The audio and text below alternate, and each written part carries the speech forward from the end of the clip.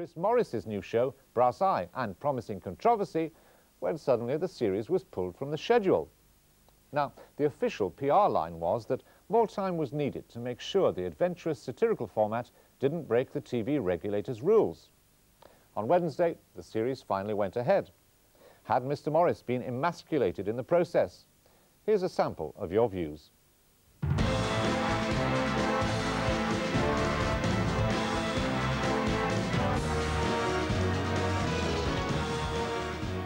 Some of the subjects that were discussed were slightly shocking.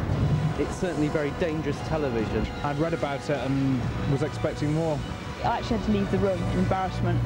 Tonight on Brass Eye, animals. Are we too nice or too nasty?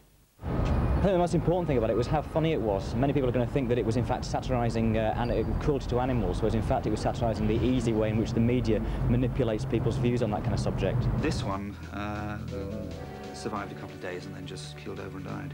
There are a lot of people out there that will take what Chris Morris said at face value, which is dangerous because there is nothing funny about animal abuse at all.